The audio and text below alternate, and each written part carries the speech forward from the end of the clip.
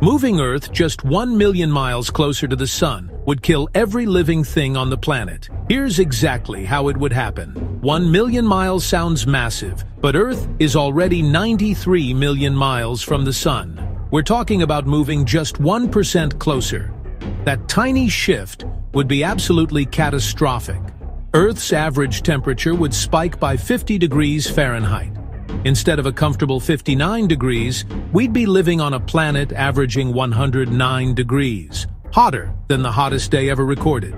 Within months, both polar ice caps would completely melt. Sea levels would rise over 200 feet, swallowing every coastal city on Earth. New York, Miami, London, all underwater. But that's just the beginning. The intense heat would cause massive ocean evaporation, creating a runaway greenhouse effect. Our atmosphere would thicken with water vapor, trapping even more heat like a planetary oven. Every crop would fail. Every forest would become desert. Parts of the ocean would literally start boiling. The Amazon, the Great Plains, the Sahara, all equally lifeless. Here's what's terrifying. Earth sits in the Goldilocks zone. Not too hot, not too cold, but perfectly positioned for life.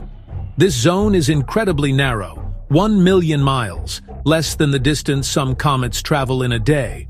That's all it would take to transform our blue marble into a boiling, lifeless rock floating in space.